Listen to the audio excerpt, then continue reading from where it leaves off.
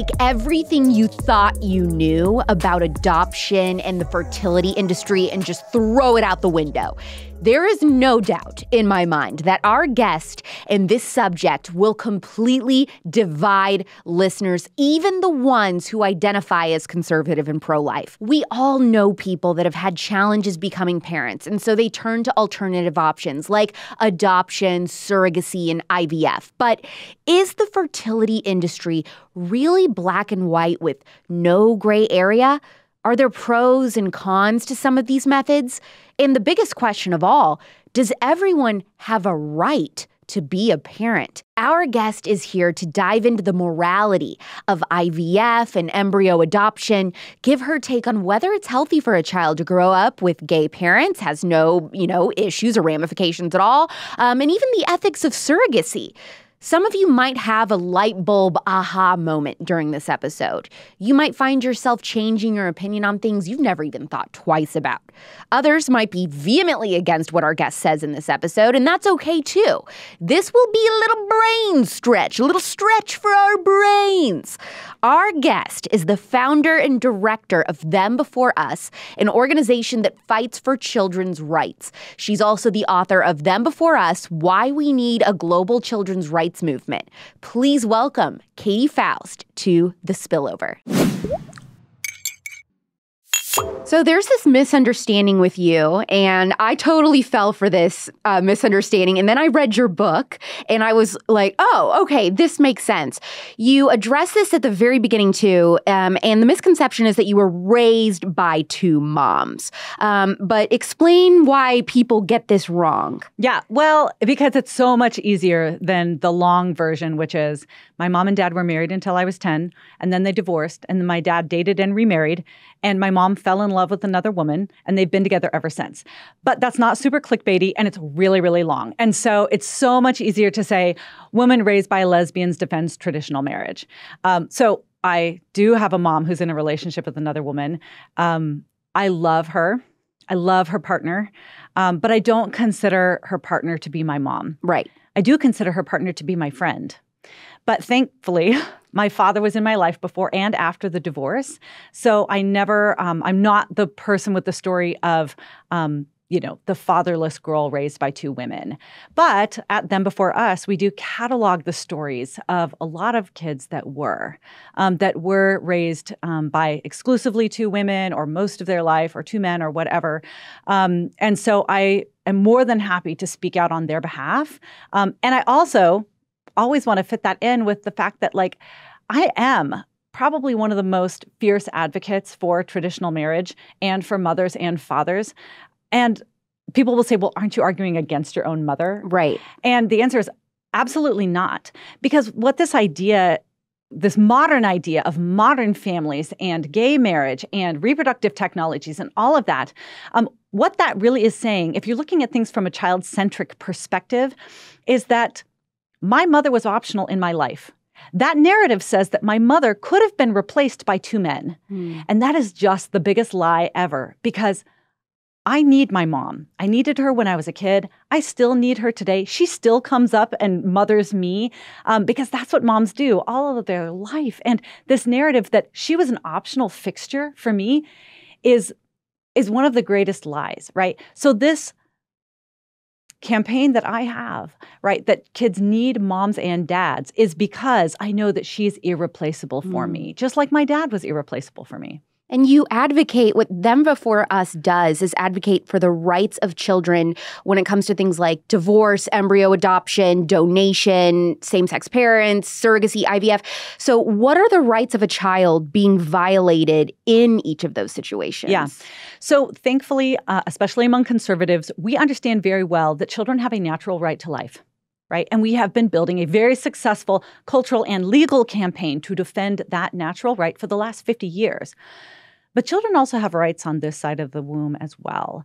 primarily the right to be known and loved by both people responsible for their existence, right? This is a critical natural right, and we can get into the social science about that later on. But if you can preserve and protect this right to the two people that made them, what you're going to give to children is three things automatically. Number one, you are going to grant them with the perfect gender balance in the home every time right? They are always going to get the maternal love and the paternal love that maximizes child development. Number two, you are going to give them statistically the safest, most connected, and most invested in them adults in the world. Yes. Right? That these are the two adults that are going to maximize the likelihood that children are going to be safe and loved. And number three, you're going to grant children something that they crave, and that is their biological identity. Only the two people that contribute the genetic materials to a child are going to be able to tell a child who they are in ways that actually really matter to kids. And we know that now that we've listened to the stories of kids who were adopted or kids that are created through third party reproduction. And so we take those core, unbending child realities that they need, deserve, and have a right to these two adults and we take that principle into every discussion about marriage and family. So if children have a right to these two adults, then we learn that the definition of marriage is actually a matter of justice for children. Because only marriage, only natural marriage, unites the two people to whom children have a natural right. And while we understand that there may be some situations where divorce is necessary, no fault divorce or casual divorce is always going to sever a child's relationship with their mother or father by at least 50% and often introduce great instability in their life. Wow. Now, see, some parents, I mean, so many people are divorced and they might be listening to this and just their heart mm-hmm. is just in their stomach hearing yep. you say that. Well, and I'll talk, yeah, sure. The adults that uh, went through the divorce and whose kids um, are now suffering through that mother or father loss or that instability, yeah, they might be thinking that. But let me talk to you, child of divorce. Because I'm after the kids' perspective here. I talk to a lot of adults that are pretty defensive about their decision to leave their child's father or mother. Um, and there are cases where that might be justified. But 70% of cases of divorce these days are not because of adultery, abuse, or abandonment. It's because there was insufficient commitment or somebody fell in love with somebody else and decided to leave. And yes. really, what that what that means in those cases where the, it's a low conflict marriage, not a high conflict marriage, not an abusive marriage, um, but in those low conflict marriages where one spouse chooses to exit the marriage, what they're doing is they're handing their kids lifelong physical, emotional, academic, and relational loss. Right? They're saying my own desire for my own romantic and relational and sexual fulfillment is more important, kid than your need to have both your mom and dad loving you and loving each other every mm-hmm. of their life. And so I sympathize, I empathize with adults who are in challenging marriages, but I'm here to advocate and defend the kids. And my guess is a lot of your listeners understand exactly what I'm talking about because they were the product yep. of divorce. They did have to live through the split home. They did have to live through the split lives. They did have to live through maybe for some of them a revolving door of men in their mother's life or women in their father's life and the instability or maybe you know the repartnering of their dad with somebody else that in essence started a new family and prioritized the new kids over them or whatever it was. And so no fault divorce. You know we spend a lot of time in as conservatives do um, talking about gay marriage or gay parenting or whatever. Gays and lesbians are not responsible for the abysmal state of the family in the United States. Ooh, okay. ooh, that's spicy. Yeah, that belong that title belongs to heterosexual adults. Heterosexual adults who normalized no-fault divorce. Heterosexual adults who peaked at divorce in the 1980s when a lot of us Gen Xers, you know, were growing up. My husband um, is a product of divorce. I'm a product of divorce. Um, and in his very liberal town where he was growing up as a kid in third grade, there were 52 kids in his third grade class, and three of them had married parents. Right? You can't inflict that kind of loss on an entire generation and then just expect everybody to be okay.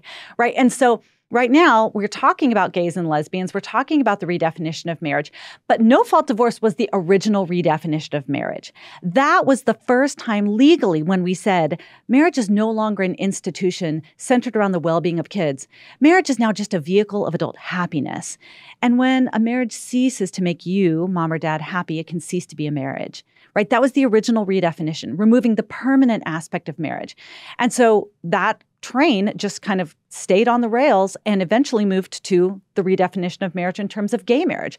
Because gays and lesbians said, well, if marriage is not about kids, if it's really just about my own personal fulfillment and happiness, well, somebody of the same sex personally mm-hmm. fulfills me and makes me happy. So it was no fault divorce that originally reoriented marriage away from children and towards a vehicle of adult fulfillment.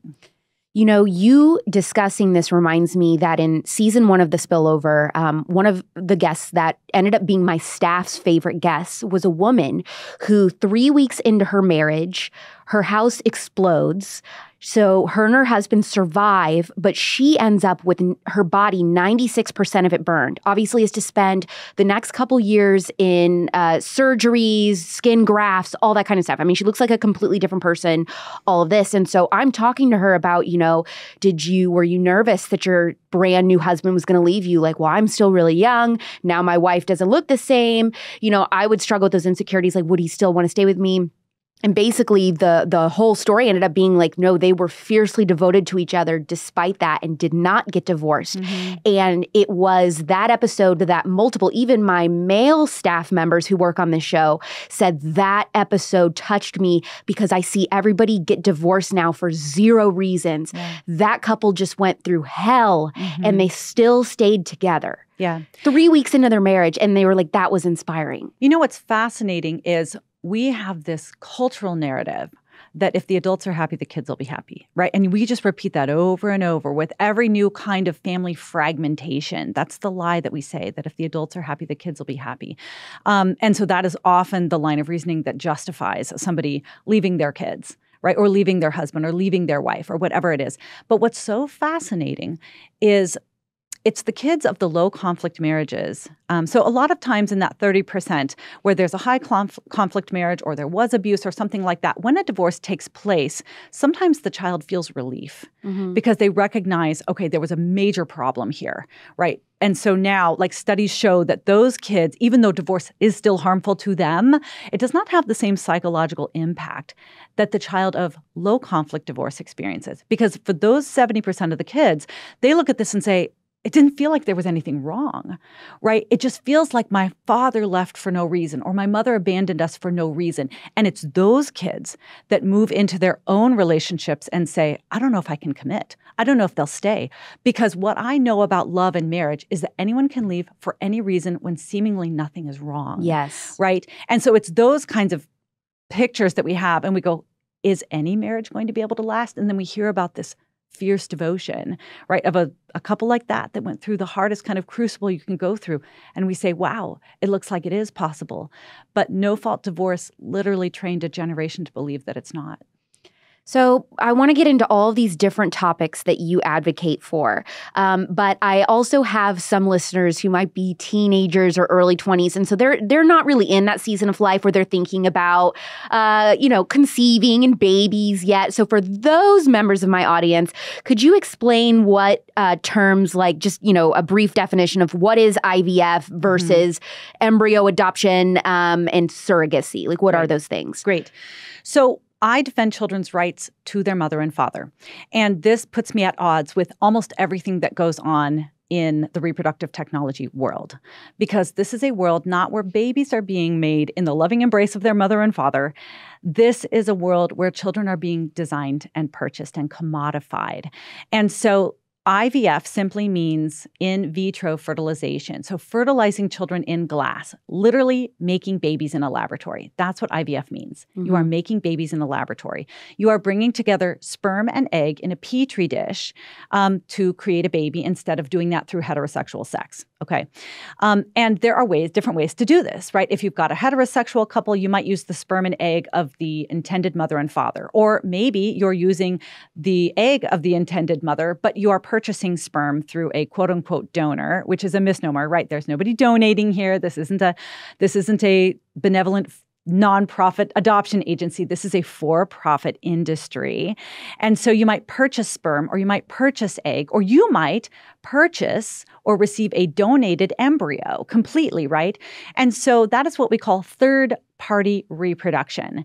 You are now using a third party to create a, a, child outside of the people that are going to be raising the child. So, a third party reproduction situation is using somebody else's egg, somebody else's sperm.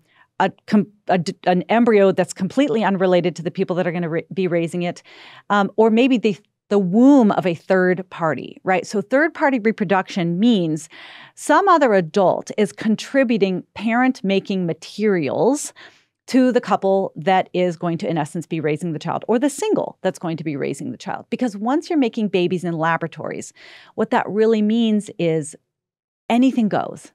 Anybody that can put together sperm and egg and womb can, in essence, make a baby and walk out of that hospital with full parental rights to that baby, even if the child's not genetically related to them.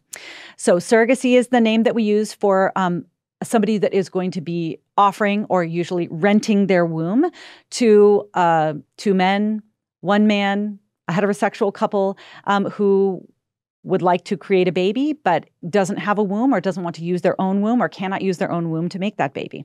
So, um, at them before us, we reject all third party reproduction because all third party reproduction violates the rights of children. It violates their right to be known and loved by the two people responsible for their existence.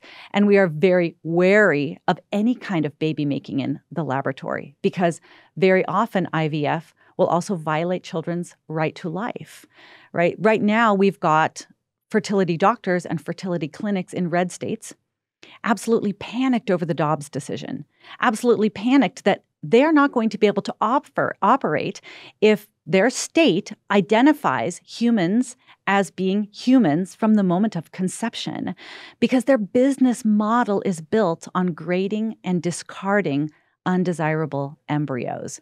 Um, we don't. So, have, uh, so what does undesirable mean? Yeah. in this industry, it means that they're going to make a baby in a in a petri dish, right? Maybe it'll be the sperm and eggs of the intended couple. Maybe it's going to have a third party involved.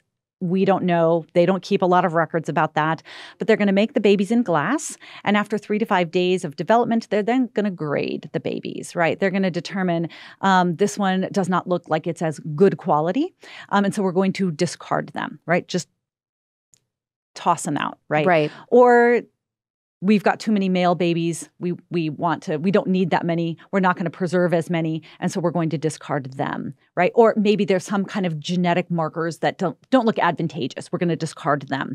And so right at the moment, right, right when you're like first taking a look at what is developing, you're going to discard maybe up to 50% of the new life that you've just created.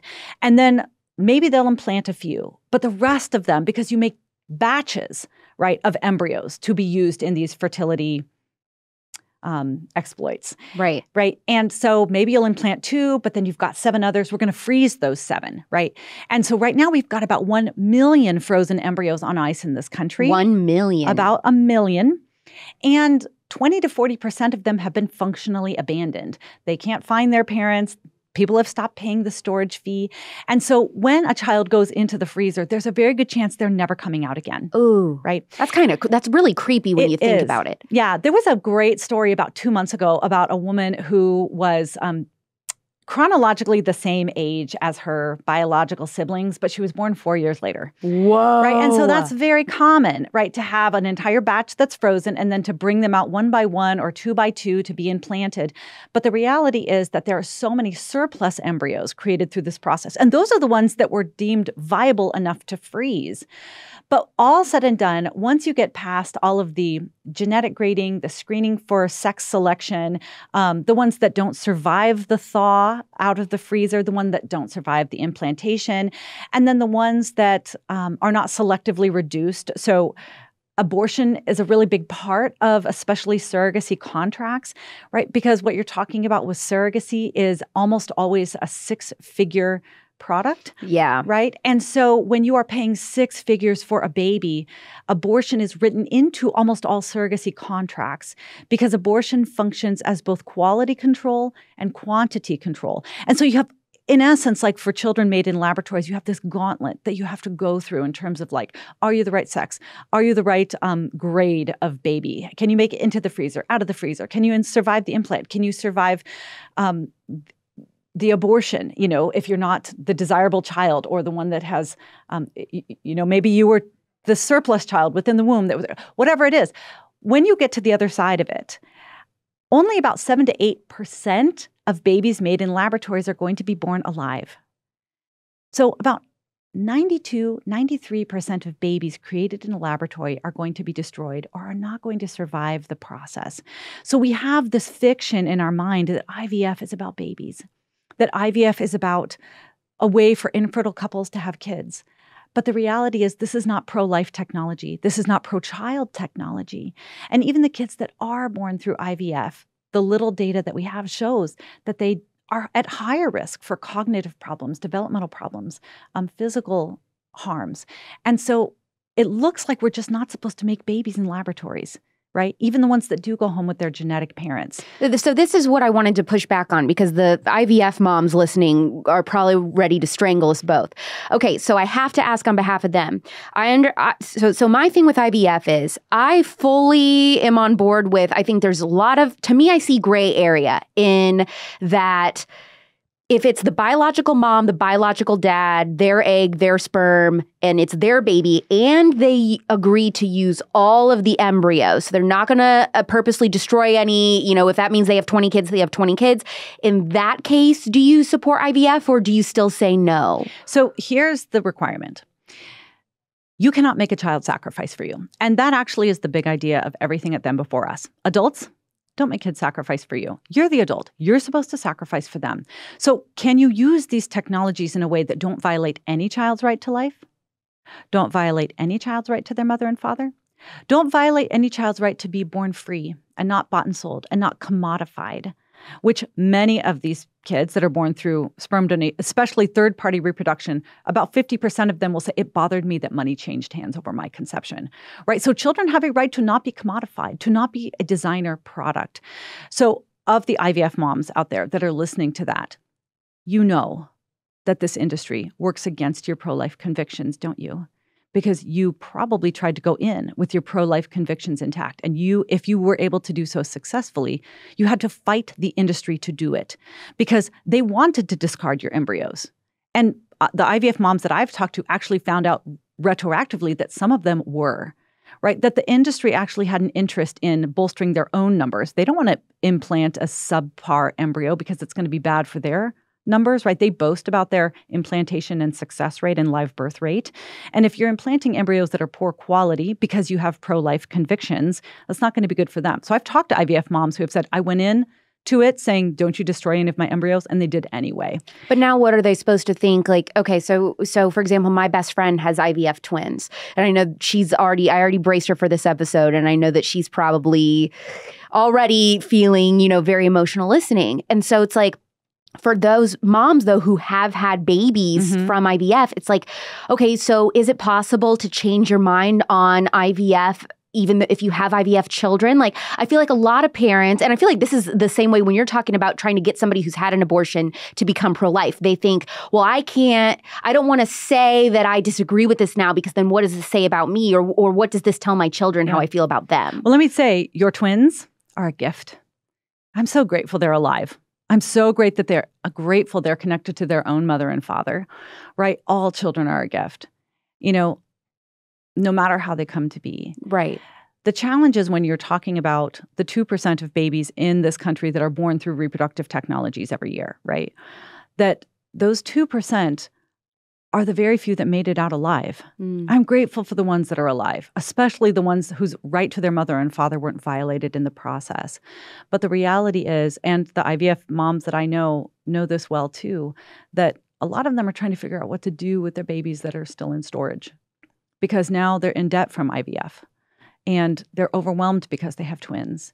But they have five other babies in the freezer that are genetically related, and nobody told them what was going to happen you know, how they were going to feel on this side of things because they're like, I don't know if I can raise seven kids, right? We would have to get a new house. We'd have to get a new car. We're already in debt. I'm already overwhelmed. I'm exhausted, right? And so now we've got, I mean, of the IVF moms that I know, um, many of them are struggling with that aspect of yeah. the industry as well.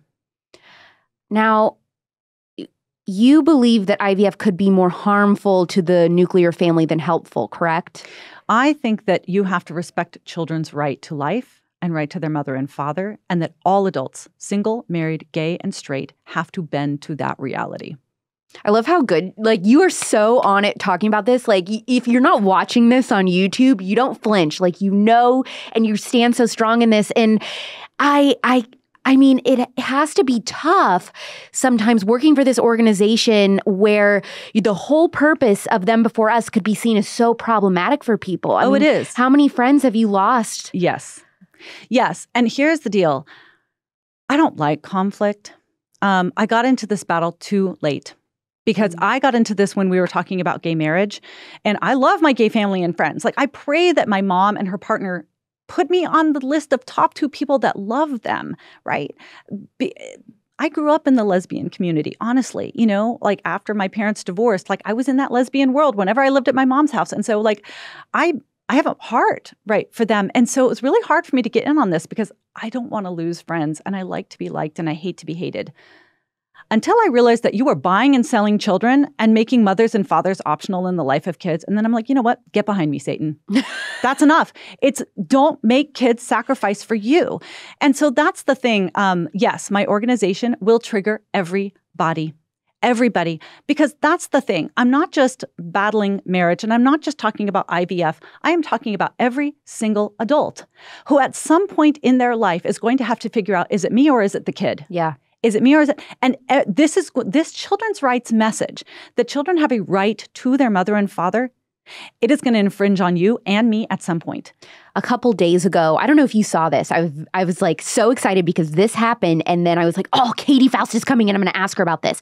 Did you see that Mindy Kaling said in an interview that she believes parents as a gift to their 19 year old young college age daughters, mm-hmm. hey, instead of jewelry, instead of vacations, you should be offering to pay to freeze their eggs yeah. so that they can spend their 20s and their 30s pursuing their careers, doing what they want to do. And you know what? If they don't end up getting married, that's fine. Then they still get to be a mother. Mm-hmm. Mm. And I'm 29 and uh, everyone in my audience knows that it's my i would give up all this in a second if it meant that i could be a mother like mm-hmm. a wife and a mother that's mm-hmm. what i mm-hmm. want but it just hasn't happened for me it wasn't that i intentionally have put my career first in my 20s it's just what's happened mm-hmm. um, and so i have had to come to terms with this idea of man i could afford to freeze my eggs if i wanted to right now if i'm scared if I, that i'm still not going to be married in the next five years but is it just because I want to have kids? Is it my right to have kids? Mm-hmm. You know, is that the right thing? And um, and so I I really came out hard against Mindy Kaling saying that,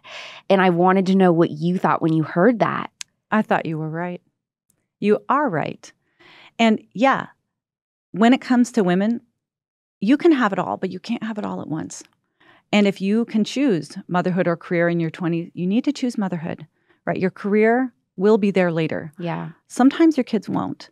And in this modern age, especially with the massively dysfunctional way that we are raising men and women, it's hard to find a husband or wife, especially if you are on the track of wanting a devoted family. Yes. And you're not in the hookup culture and you're not going to do the Tinder world and all of that. It's hard. It's hard. But just because something is hard for adults, we don't make things hard on kids. That's the line. The line is Actually, adults are made for hardship. We're made to do difficult things. The problem is then when we offload our hardship onto the shoulders of small kids so they bear the burden that we don't have to bear. That's an injustice.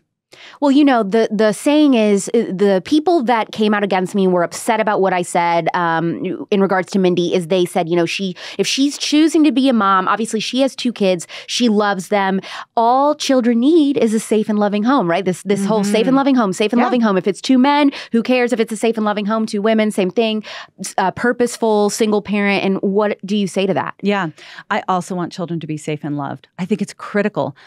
We don't have to guess at what ingredients need to be present for children to statistically be safe and loved.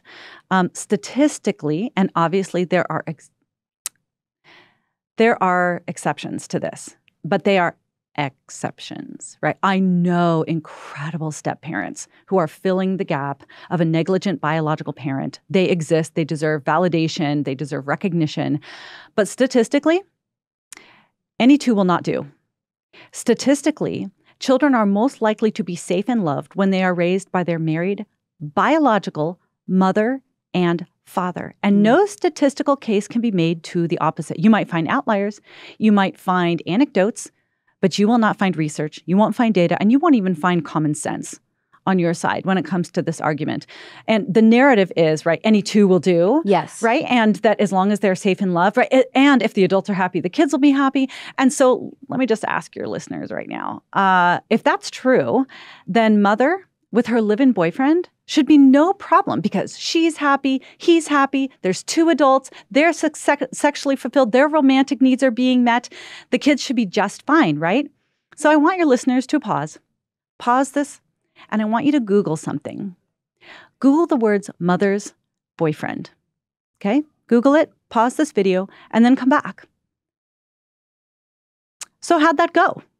What did you see? When you Googled mother's boyfriend, what you saw was endless pages. How many hits? A million hits on things like child dies at the hands of mother's boyfriend, child tortured by mother's boyfriend, mother's boyfriend arrested because he shoved urine filled rags in child's mouth. You are going to find the worst cases of child abuse and neglect at the hands of an unrelated man living with children. Mm-hmm.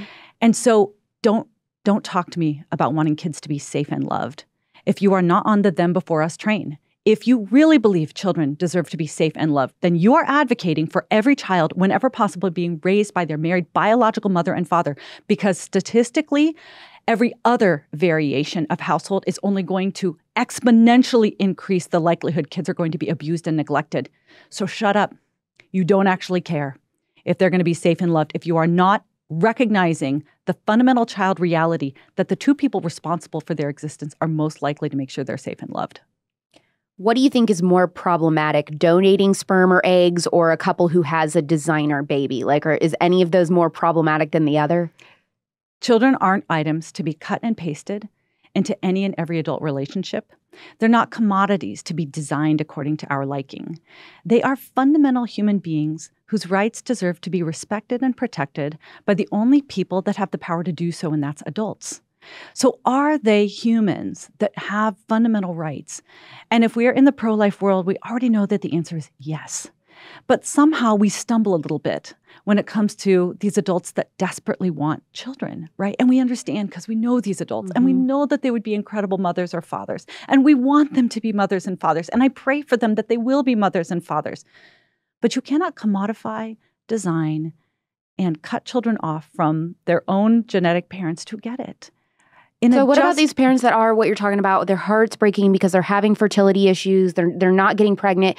Is it your belief that those people just are not meant to have biological children? And like if if they're meant to have children, God will make it happen, and they should not use any other reproductive means to get there. Mm-hmm. So first of all, I would say when you struggle with fertility, very quickly you are going to get a referral to a fertility clinic right? Because this is the most lucrative arm of the medical industry because it's almost all elective and they're working with desperate people. People that will pay anything, people that will pay anything to have a baby, right? They are so, especially women, right? In their women in their 30s who want a baby, they can't think about anything else, right? It is what one of my infertile friends called like the worst breakup she's ever experienced month after month after month after month, right? These are some of the biggest burdens that adults deal with. But I would encourage you, instead of going to the fertility world, there are technologies out there, things like NaPro technology, that will seek to diagnose and resolve underlying issues of infertility. That's like a root cause doctor. Yes, that's right. Because uh, the IVF world does not want your body to heal. They need repeat customers. Ooh. But a lot of the NaPro technology um, out there, it is depending on the issue they're seeking to resolve, have a 30 to 75% success rate. IVF may be around 30%, right? And often after multiple rounds of IVF, after multiple children are um, discarded or graded or sent to the freezer or whatever it is. So I think that we have to get better at addressing the underlying causes of infertility rather than immediately funneling people into the reproductive technology pipeline. Yeah. Do you believe that donating sperm and egg is basically the same thing as an abortion, or are those different? Well, a child's not losing their life but a child is losing a relationship with someone they have a natural right to. And so, one of the things we do at Them Before Us is we catalog the stories of kids who have lost a relationship with their mother or father, either through divorce and abandonment, uh, because they have LGBT parents, or because they were created through big fertility. Um, and these kids who are created through sperm and egg donation, they are not faring well. They disproportionately struggle with identity issues. Mm. Um, they struggle because they don't have complete medical records. A lot of them worry that they are accidentally dating their half sibling.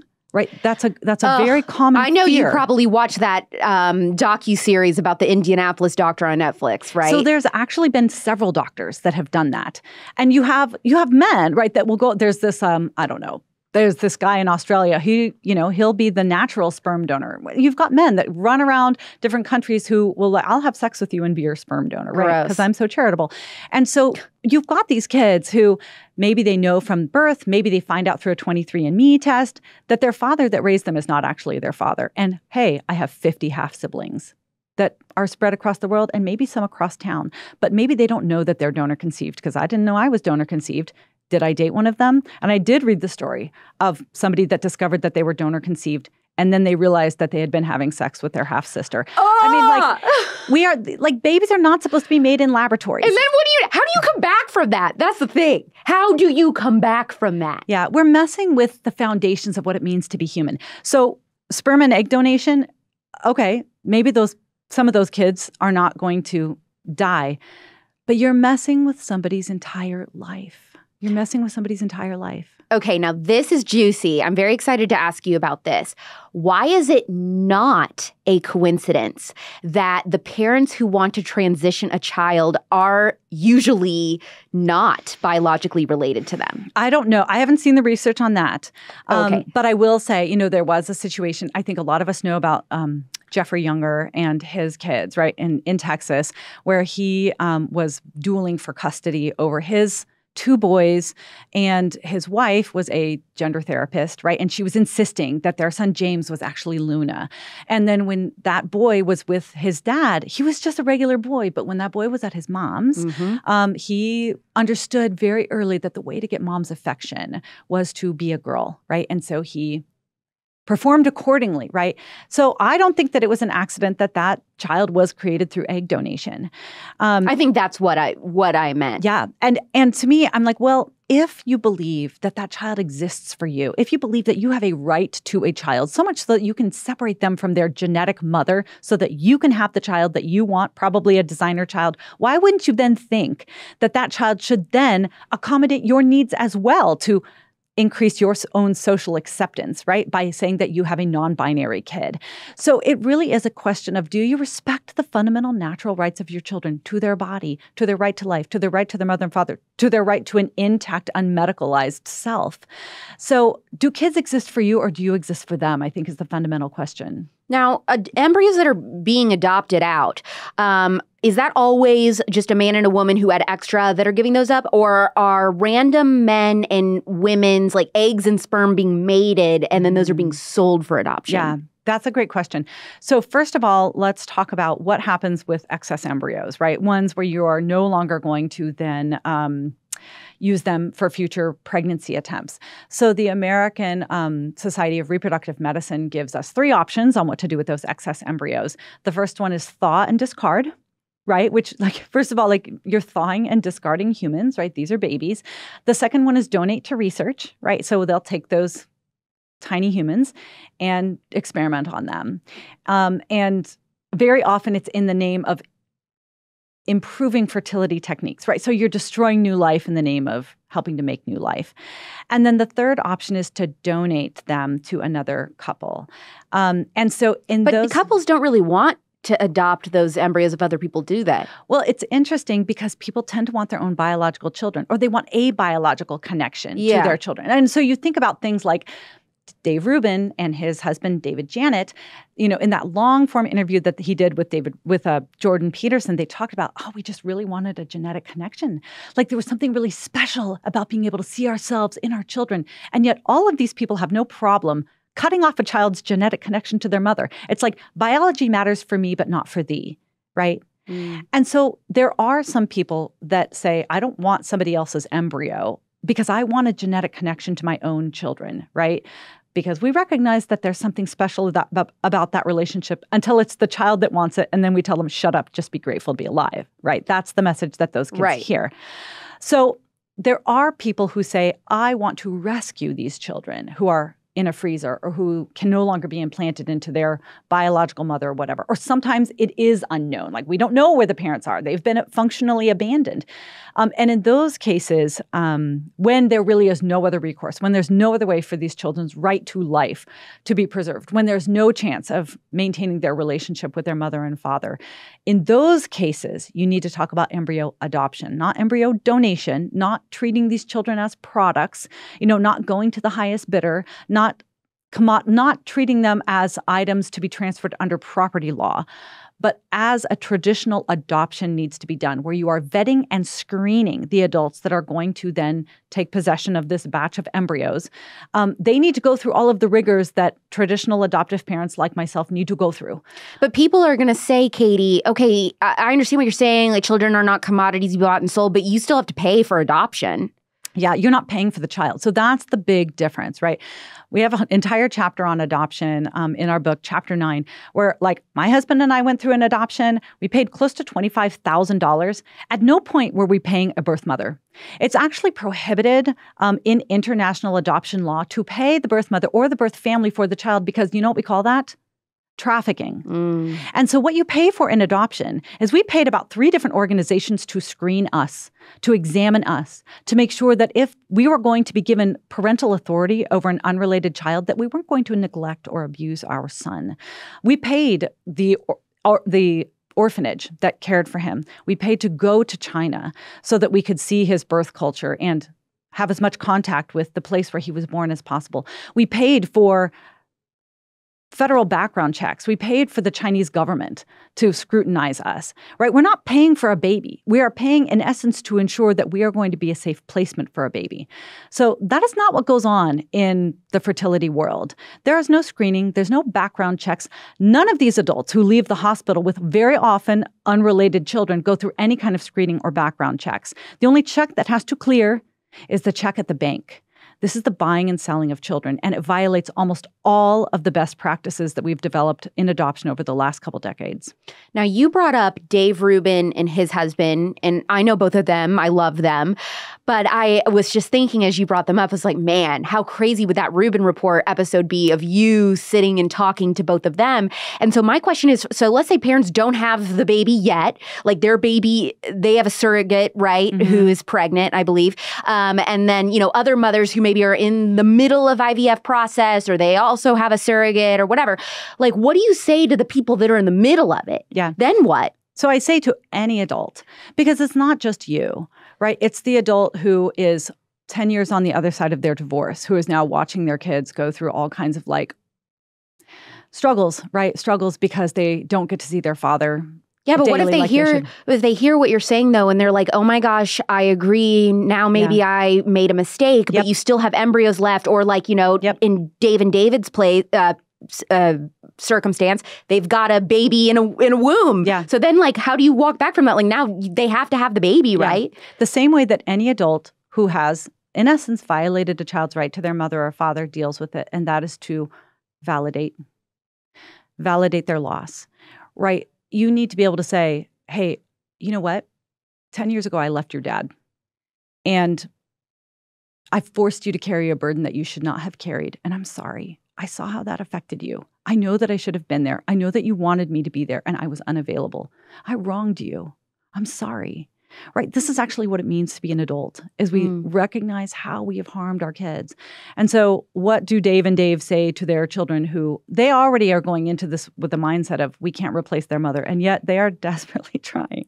I mean, they have used the eggs of they've shopped for. I mean, he's talked about it like a Tinder like experience, right? Where you're shopping for your child's genetic mother. You know, they are renting the womb of another woman with whom those babies are bonding, and they will intentionally cut those babies off from the only woman, the only person those babies know on the day that they're born, so that these two men can have an intentionally motherless child. They are like he says, have a couple refrigerators of breast milk because they need the milk. They need the bodies of women to create these motherless children, at least three so far. You know, they have night nurses, they have grandmothers coming, and they do recognize, hey, you know, we can't be a mother. But I hope that when their kids say, Does my mother know that I exist? Do I look like her? I wonder if my great I wonder if her parents know that. Have I passed her on the street today? Does she play the piano like I play the piano? Because those are the questions that children ask Mm. Not because they are created through sperm and egg donation, but because they are human children. And these are questions that human children have when they are not growing up with their mother or father, whether they're adopted, whether their father abandoned them, whether their mother's a druggie on the street somewhere. Kids naturally long for the love of the two people that made them. And so I pray that the message that those two children hear is you're right. You do you do deserve to know her our desire to have a genetic connection with a child outweighed your need to have a connection with your genetic mother. And that was wrong. And you suffered loss because of it. And we'll do what we can to see if we can find out her identity with you because it matters to you, right? Because we we see in surveys of kids created through sperm and egg donation that it matters greatly to them. A majority of them would say, my sperm donor is half of who I am, mm. right? Many of them don't Whoa. consider them a donor. They're like, that's my father because it is their father. So I think that we have done kids a great disservice. You know, we spend some time in our book talking about kids with same sex parents and how hard it is for them to grow up in a world where they're told, you don't need a father. You should be so grateful to have two moms that love you. The problem is, those kids want a dad. Yeah. And so it's sort of this form of gaslighting because they're going to naturally want a dad, whether the world says that they should or not. And so then they start to feel guilty for wanting what all children have wanted throughout human history. Um, but this world says, no, moms and dads, they're interchangeable. Yep. But in the lives of kids, in the minds of kids, in the hearts of kids, they're not. So, if IVF can sometimes be unethical, do you believe that it should be illegal? I think that children's right to life and right to their mother and father and right to be born free and not bought and sold shouldn't be violated. And so, if you can use reproductive technologies in a way that doesn't violate any child's right to life, now what you're talking about then is the gametes only of the genetic mother and father, only creating the number of embryos you intend to immediately implant, no sex selection, no re- no selective reduction, which is abortion, um, no grading of embryos. You're going to implant every baby that you create. There's no kid going to a freezer. I hope that goes well for you. Um, you still are going to deal with the increased psychological risks, physical risks that go along with artificial reproductive technologies. That's something we're still learning about. But that scenario that I just, you know, put out there for you, that pro-life scenario where no child's right to life or right to their mother's being father or be, is being violated, that virtually doesn't exist. It is too cost prohibitive. You will very rarely find somebody that does not freeze excess embryos because they will be counseled not to because it's too expensive to have to recreate embryos every time you want to do a transfer attempt. So, if a mother and father doing IVF use every embryo, but some of them don't take, is it your opinion that those parents are responsible for the death of that child? No, I think every child, well, I do think that it's harmful to create babies in laboratories. Um, you don't get to decide whether or not they take. Um, but in my opinion, you are responsible for implanting every single one of them. They are your children. What about a married mother and father using IUI, which is just like a mechanism for helping mm-hmm. with fertility? Uh, is that problematic? So I think that that is less problematic. Okay. Right? You still are extracting sperm from the man's body, um, but at minimum, you are not doing the baby in a petri dish. Um, so to me, that's why I'm saying like there's actually like dozens of ways that you can use reproductive technologies. My line as a children's rights advocate is don't violate a child's right to life. Don't violate their right to a mother and father. Don't violate their right to be born free, not bought and sold. And if you can figure out how to use these technologies in ways that don't violate children's rights, God bless you. I hope it works out. In the case of divorce or separation, who becomes the greatest threat to a child? Well, Children, there's three staples of a child's social emotional diet, okay? Three things that they need to feast on if they are going to have the best shot at thriving mother's love, father's love, and stability. So, A married mother and father is the only household where a child is going to have their staples, their social emotional staples met. Once a divorce takes place, you lose 50% of mother's love, 50% of father's love, and very often instability instability characterizes that child's life, right? Mom is repartnering over here, dad's repartnering over here. Maybe mom has a new baby, but maybe two years later that relationship breaks up and now she's moving, right? That instability characterizes a child's life post divorce. And so very often they don't get stability. And that is why you see children of divorce having drastic problems with school, um, with their own physical and emotional and relational health, right? You really, it's very hard to form a stable identity without stability. And unfortunately, divorce brings instability. So when you're talking about what the greatest threat is, the greatest threat is that they are emotionally malnourished. Right there, are, there's simply no way for a child of divorce to have their social emotional needs met. Will they make it through? Are they going to be able to figure it out? A lot of them do. But to normalize it and to say they're going to be just fine statistically, they may not. It's just culture lying. Yeah. lying to, to parents and families. Yeah. Um, okay, so I know how you feel about like sing. We talked about with the Mindy Kaling situation, a, a single woman, you know, freezing her eggs and then ha- using a sperm donor to have kids later. We disagree with that. Um, morally, should single people be able to adopt mm-hmm. or foster care? Good in your question. opinion? Good question. So here's the rule. And you can take this rule, you can apply it to any marriage and family situation. And that is are you doing hard things for kids? Or are you forcing kids to do hard things for you? Mm. If you are doing hard things for kids, yay. If you're forcing kids to do hard things for you, boo. Like it's very, very simple. And so sometimes people will say, well, are you dissing on single moms? Well, you know, sometimes single moms are single moms because they were the only parent that was willing to do hard things. Yeah. Right. And that is that is the metric for success in our them before us world is and and boo to the guy who wasn't willing to do hard Absolutely. things. Absolutely. Right. So what about single mothers by choice? Sperm do- boo. Yeah, because you're making them do hard That's things for right. you. You're I love this. To do hard things for you. Yes, if you're doing hard things for them, then it's okay. Like a, a single woman who's who's financially capable, safe house, whatever, adopting a child, right. then you would say that's okay. So let's talk about adoption. Okay, right? let's really spend some time here. So here's the problem with what we're doing with adoption right now: is both for like infertile heterosexual couples, but then also for like LGBT adults, right? They see this as a way to get kids, right? And we've even heard this framed in some state by state battles, like LGBT people have a right to adopt. Yes. Do they have a right to adopt, Katy? No. Hell no. Because nobody has a right to adopt. Adults do not have a right to a child that is not theirs. Adoption does not exist for adults. Adoption exists for kids. Children who have lost their parents have a right to be adopted. Children are the client in adoption, not adults. Even if they're adults who are paying the adoption fees and the, the agency fees, they are not the client. If adoption is done well, every child that needs a loving home is going to find one, but not every adult that wants a kid is going to get one right? It's very, very important that we understand this major, major difference. Adoption is an institution centered around the rights and well being of children.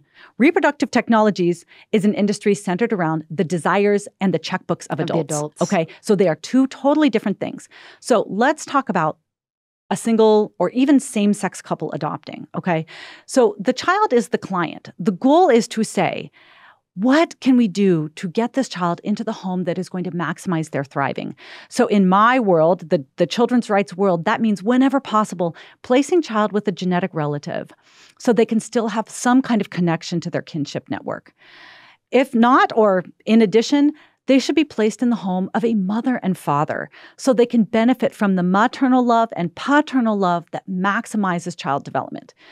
In addition, they should be placed in a married home because marriage brings stability to children that no other household configuration really does. Here's what freaks me out though is the, is is married couples who adopt and then they decide a little bit later to yeah. get divorced. Yes.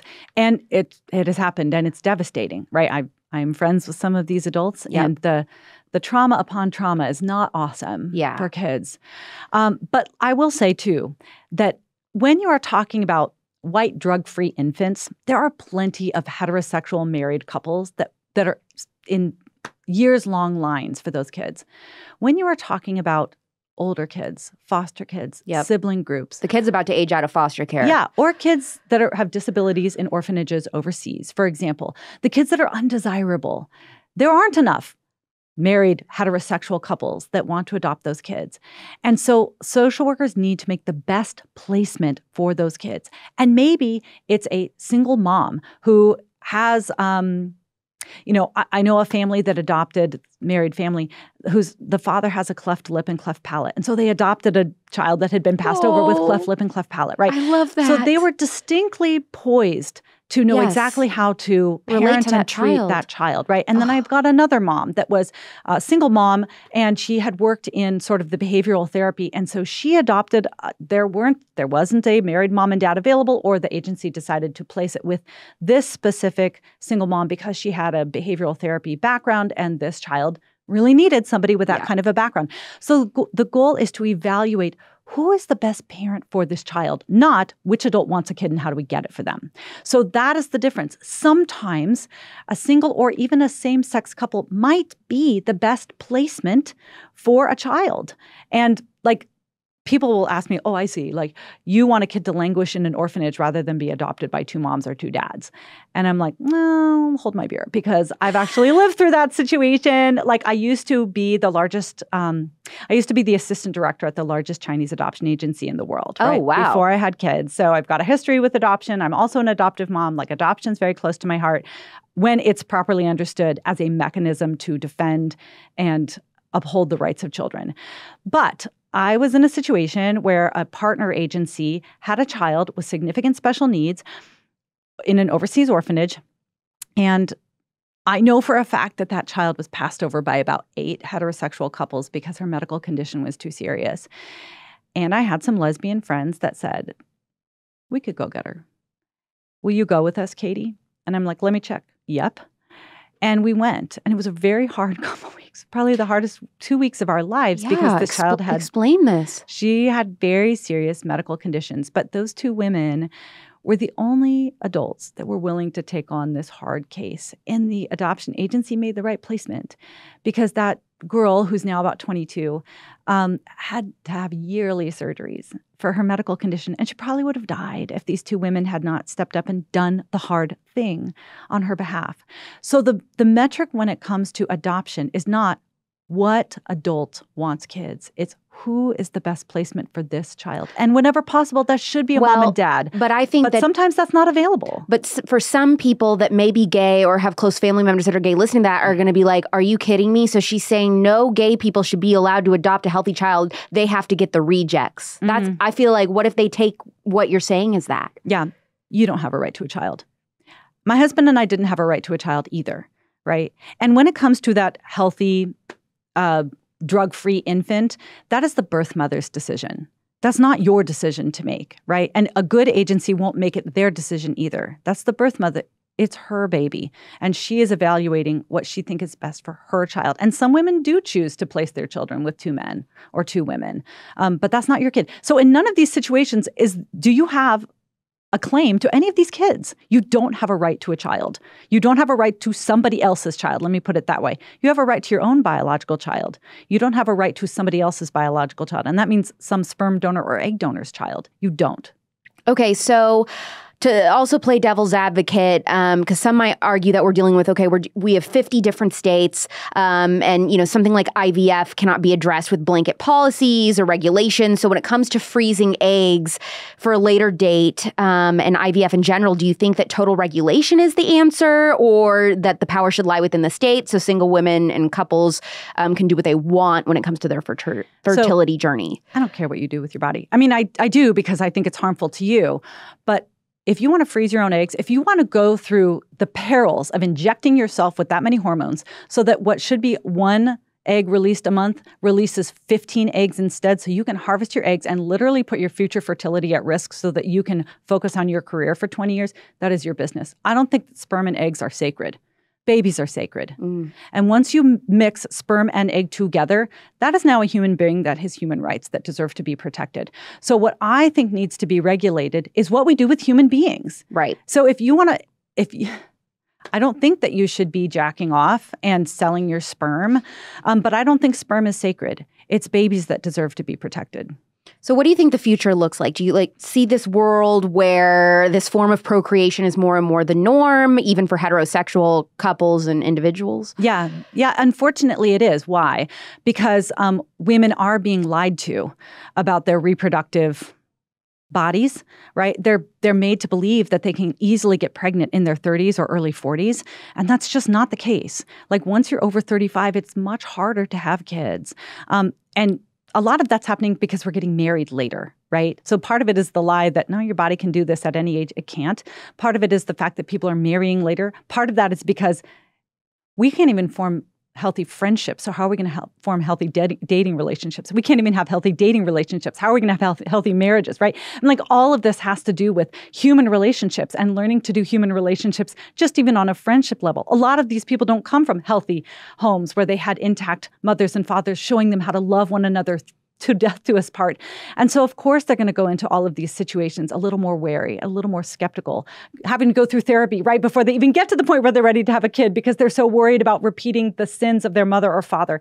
And so, it's just, yeah, unfortunately, this is going to be a bigger part of our world. And that is why we need to think about it more carefully because some of these ideas are lies and some of them are dangerous. And and when it comes to marriage and parenthood and family and reproductive technologies, when we get these questions wrong, we are going to victimize children. And that's what's unacceptable. Man, this episode is going to burn down the internet. Like I already know it's going to break the internet. Well, here's the here's the good news. Here, here's the good and the bad news. This is not an episode about the gays. This is not an episode about the Christians. This is an episode about every adult out there who is going to, at some point, probably have to die to themselves so that children's rights are going to be respected and protected. And that's why Them Before Us is actually kind of this amazing coalition of uh, misfits, right? Because we have gay and lesbian supporters, um, we have people who have children of divorce, adults who have been through divorce, all of us who are like, look, we may have all kinds of stuff going on with us. Like we might have this kind of ragtag. We don't fit in with the, the Christian right, and I don't fit in with the LGBT lobby or whatever. Like you, but you fit in with us.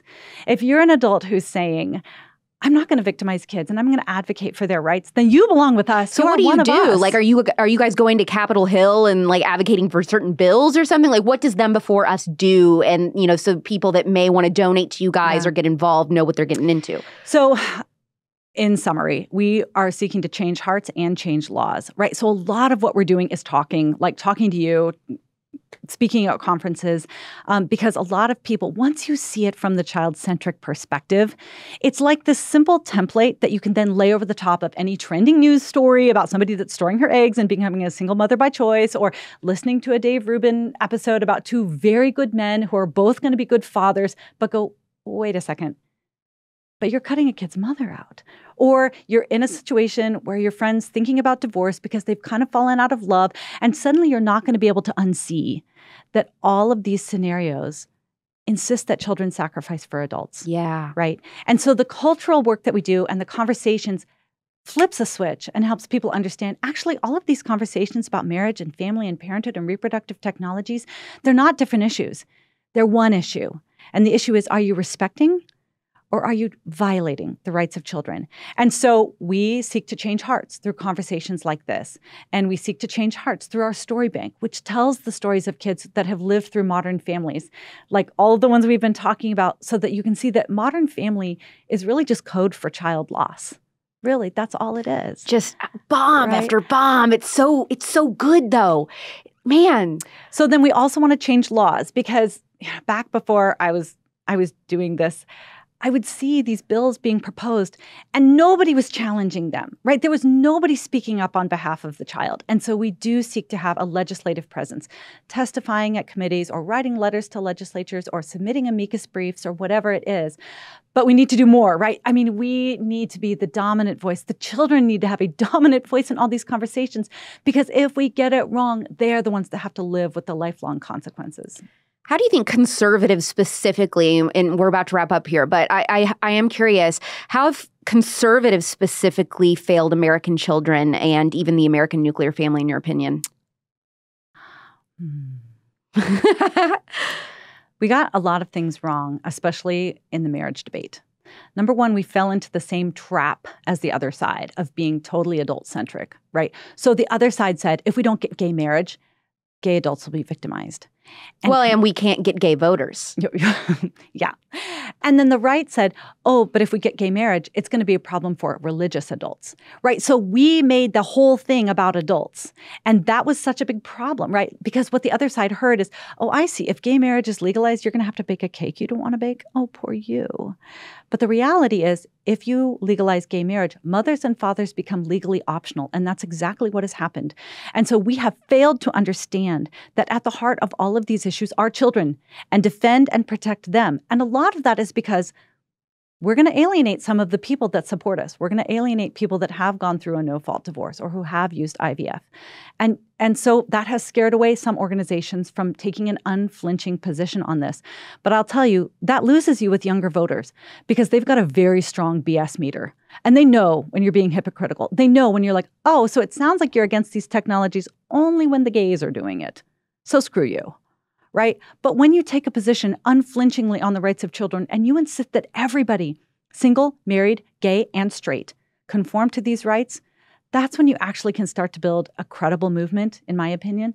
Um, I think that we missed the ball on divorce, right? I mean, a, lot of us that were talking about the harms of redefining marriage, they said, Oh, you think kids should have a mom and a dad? Oh, is that why you're railing against no fault divorce? And we weren't. Mm, and we yeah. weren't, right? And so there was some hypocrisy there on our part, and that needs to change because children of divorce deserve to be advocated for as well. So, I, and I think the other big problem is we have majored on the research. We have majored on common sense. Like when it comes to things like marriage, we have the five major religions on our side. But the other side has continually won because they've done a better job of humanizing their arguments because they tell a better story. So that's one thing that Them Before Us is trying to do is catalog the stories of kids who have experienced mother or father loss because I guarantee you, if you read my book, which is filled with like about 120 stories of kids that yeah. have been intentionally denied their mother or father. Well, and who are, they feel like, uh, of course, they, you know, they love their two moms or right. they love their two dads. And so they felt like, uh, you know, before as a child, well, I can't dare come home from school and say, Mom, I'm sad that I have, you know, I can't make a Father's Day card yep.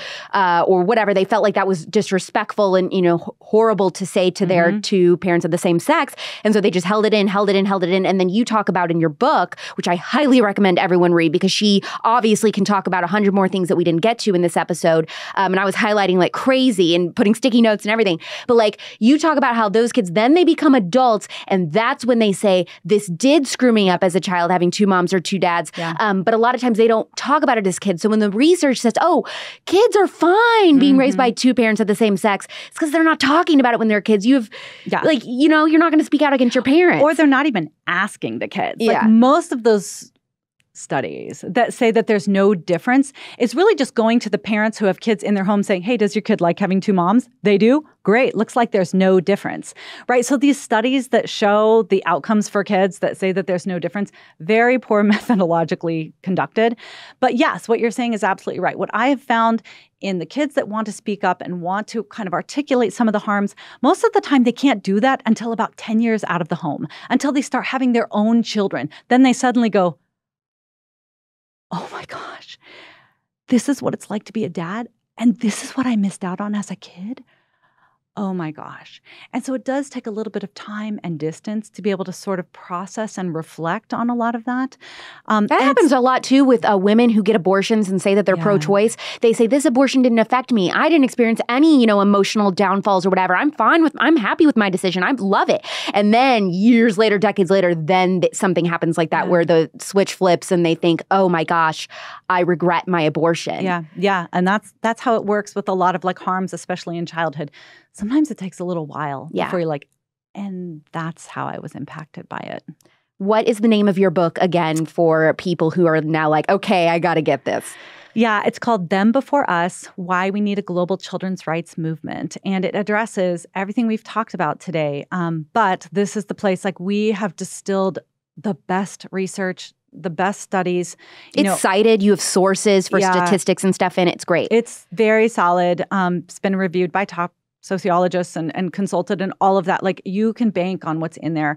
But what's really going to light a fire in you is reading about the kids who are impacted. And those are the stories that are very hard to find because they're very expensive to tell. I mean, if a kid's going to come out and say, I loved my two moms, but I desperately wish I had a father, do you think that's going to like increase the warmth at the Thanksgiving dinner or not? Mm-hmm. I mean, these kids come out you know, as traditionalists, really at the cost of their most precious relationships. And so we have painstakingly compiled them so that you can see what that looks like in real life. Well, I know that uh, there's going to be people um, who are going to say, Alex, you didn't ask this. And, you know, you have to understand to remember, as I'm not a mom yet. So I tried my best, especially talk to my friends that were moms who, who would be able to have devil's advocate questions for you, Katy, and stuff. But there's going to be people that are like, I wish you would have asked this, but you mm. didn't. So do you have a preferred method of social media if they do have a follow up question? Yeah. And actually, we are hoping to start a podcast. Um, yes. yes. And we want to have these hardest questions. Um, you know, we've been doing this for a while, so there's not a lot that we don't feel like we have sources for or stories for. Like, we should be able to get you good answers. They might not be answers that sit well with you because it's probably going to make demands of you. Yeah. But we're going to be able to have good answers for you. And maybe we'll be able to put some of this on a podcast. So we've got some kind of a library. So send me your questions. Um, you can find us at thembeforeus.com. There's a place at the bottom where you can subscribe to our newsletter. You can ask us questions in that portal, and we'll do what we can to get you answers. Are you on Twitter, Instagram, or anything? I'm on Twitter too much. But okay. I'm not great on Twitter. Like I see people that are great on Twitter. I'm not great on Twitter either. I'm so good at Twitter. I'm too serious. Like I don't talk about what I'm baking enough, I guess. I don't know. But I don't like, do people know? Do they need to know like that I just went for a walk? I yeah. don't know. Um, but What's I'm your on name Twitter. on there? Um, it's Advo, like advocate, Advo underscore Katy, K A T Y. Um, we're on Instagram. Thanks, Jen. My Instagram girl runs my Instagram because I hate Instagram. Dude, if I could get off everything, I would, but it literally, uh, d- that would crush my career. Yeah, like yeah. I have to be on there. Yeah, we're on most of the social media platforms, but we'll we'll respond to you. Facebook, Twitter, Instagram, we'll get to you. Perfect. Katy, thank you for breaking the internet with me today. Yes, yes. I hope that your guests are not too triggered. I feel like I've got whiplash from this episode in a good way. Some of the things Katy said are things I need to really sit with for a minute so I can think about how I feel about them. And you might be feeling the same way. Maybe you're going to do some reading up on big fertility and learn a little more before taking any hard stances. Or maybe you just heard all of this for the first time and you are fired up with enough hot takes to last you a lifetime, and you can't wait to drop this episode in your mom group chat and just burn it all to the ground. I just want to say, a year ago, I saw nothing wrong with a lot of this stuff. And only recently have I changed my mind. I think I was wrong. And it's okay to change your opinion on things as we learn more and get older. I'm going to replay this episode and listen to her answers again, and I'm the one who did the dang interview. If the mind blown emoji was an episode of The Spillover, I think it would be this one. Yeah, I do. Speaking of mothers, next week I am talking to a conservative mom who has been in the fight of her life. Her unbelievable story will have you questioning how something of this nature could even happen in America. Look for new episodes every Thursday night at 9 p.m. Pacific, midnight Eastern on Apple Podcasts and Spotify. Watch the episodes on the Politics YouTube channel or by subscribing to The Spillover on Rumble. I'm Alex Clark, and this is The Spillover. Love you, mean it. Bye.